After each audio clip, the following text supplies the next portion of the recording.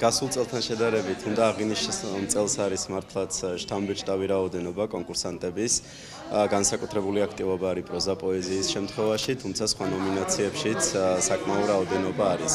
ამდენად ანუ ფიქრობ რომ წელს ზოგადად ყოველ წელს ამ კონკურსს აქვს დიდი პერსპექტივა.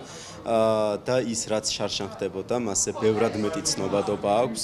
ყავს ავტორთა ის ჯგუფი რომელიც ფიქრობ რომ დღეს დედაქალაქის ცხოვრებაში და ზოგადად ქართულ ხელოვნებაში ქმნიან ამინს ერთგვარ ამინს როგორიც არის სალიტერატურო და სახელოვნებო ამინდი და აა ბედნიერი ვარ იმით რომ როგორც ერთ-ერთი მონაწილე ორგანიზატორი ამ კონკურსის და მხარდამჭერი აა ჩემს ხელში ერთ სიტყვით ვითარდება ეს კონკურსი.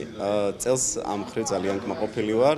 აა 15-მდე არის მიღება როგორც ვიცით და დინამიკა და სტატისტიკა ყოველდღიურად მზარდია. წელს უკვე მეორე თუ ატარებთ ამ კონკურსს და შემიძლია ვთქვა რომ ნამდვილად საზოგადოებრივი მხარდაჭერა ბევრად უფრო დიდია, ინტერესიც ბევრად უფრო დიდია, რაც უკვე შემოსულ ანუ სტატისტიკას როდესაც ვადარებთ გასული წლისას უკვე ძალიან დიდია შემიძლია გითხრათ სხვადასხვა ნომინაციებში. მაგალითად გასულ წელს იყო ნომინაციები ფოტოხელოვნება იყო ნომინაცია ფერწერა რომელზედაც ნაკლები იყო აქტივობა ჩვენ და სამწუხაროდ.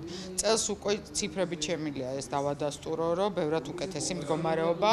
ეს იმის იმეც მაძლევს რომ ესე იგი შემოქმედებითი წრეები ბევრად უფრო დაინტერესებულები არიან. სწორი გზით ვაკეთებთ კიდევ ერთხელ ვამბობ ამ კონკურსს და ვფიქრობ რომ ერთი ლამაზი საღამო და ერთი ლამაზი კონკურსი კიდე დაემატება იმ სახელოვნებო კონკურსებს რომელიც ჩვენ ქვეყანაში არსებობს